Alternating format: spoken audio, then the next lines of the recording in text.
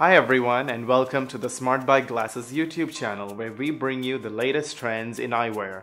Today we featured the Serengeti Alice Polarized 7902 unisex sunglasses, suitable for both men and women. The oversized structure is suitable for a variety of occasions like sailing, water sports, but also other sport activities. The lenses are made of polycarbonate material the amber colored lenses is ideal for driving as it provides optical light transmission in any condition. If you like to shop for these sunglasses or subscribe to our YouTube channel, then please follow the links after the video. And thank you so much for watching. Bye bye.